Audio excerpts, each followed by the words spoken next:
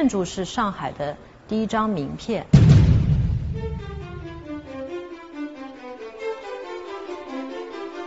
通过建筑，你其实是很能感觉到一个城市的文脉的。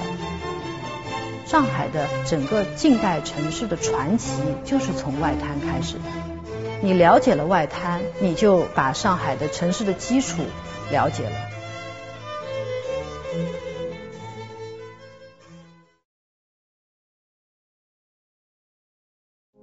我叫乔真月，我在《上海 Daily》担任城市和建筑历史的专栏作家。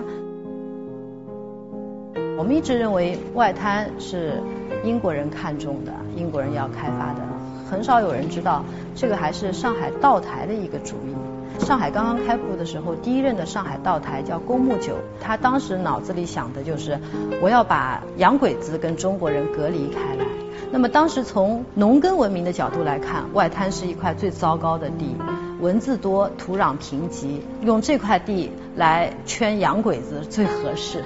那么第一任的英国总领事叫 Buffalo，他也看中了外滩。从他们的角度来看，外滩这块地方是个战略要地，交通非常的便利，运输便利。那么以后用来做生意，真是一块风水宝地。所以是道台跟这个总领事两个人属于一拍即合。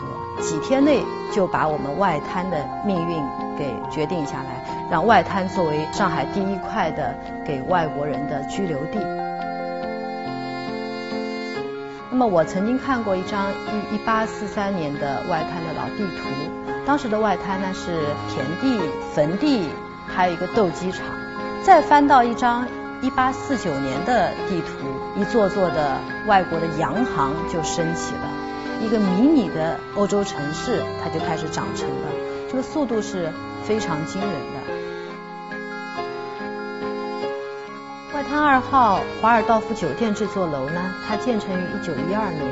外滩比它高大、更壮美的建筑也有，但是只有这座建筑，它的命运啊，特别的跌宕起伏。最早它作为上海总会的时候，应该是个非常高端的俱乐部。在计划经济时代呢，它就是东宫饭店，居然开出了上海第一家肯德基。肯德基的这个 logo 呢，也居然显示在我们这个外滩二号的外立面上，对这个建筑是个很大的破坏。那么之后呢，又看到一些历史照片，这里呢也是一个老上海主题电影取景的一个地方。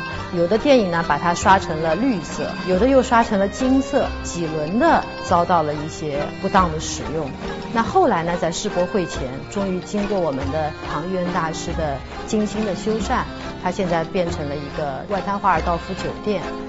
可以说，跟它一百年前的上海总会的功能是一个很好的回归。湖南别墅两家共同住过，这是两家一张合影，是非常真。最早的时候呢，我的文章都是英文的，对老房子真的感兴趣的是一批外国人。